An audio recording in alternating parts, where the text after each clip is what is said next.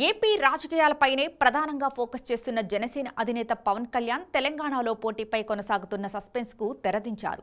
తన మనసులోని మాటను బయటపెట్టారు. పార్టీ ముఖ్య నేతలతో సమావేశమైన ఆయన ఏడు నుంచి పద్నాలుగు ఎంపీ స్థానాల్లో పోటీ చేస్తామని ప్రకటించారు. అదే సమయంలో పొత్తులకు సిద్ధమంటూ సంకేతాలిచ్చారు.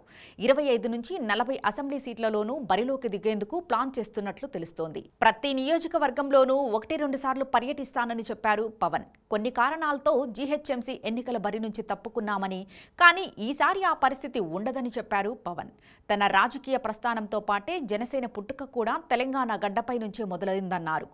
పరిమిత స్థాయిలోనే పోటీ చేస్తూ ఆట మొదలు పెడతామన్నారు. తెలంగాణ అసెంబ్లీలో పది మంది జనసేన ఎమ్మెల్యేలు ఉండాలన్నది తన కోరికని చెప్పారు పవన్. ఉదయం వారాహి వెహికల్కు కొండగట్టులో ప్రత్యేక పూజలు నిర్వహించారు. పవన్ను చూసేందుకు అభిమానులు పెద్ద సంఖ్యలో తరలివచ్చారు. కొండగట్టు నుంచి ధర్మపురి వెళ్ళిన పవన్ లక్ష్మీనారసింహస్వామిని దర్శించుకుని అనుష్టుప్ యాత్రకు శ్రీకారం చుట్టారు. మిగిలిన ముప్పై ఒక్క నారసింహ క్షేత్రాలను దశలవారీగా దర్శిస్తారు.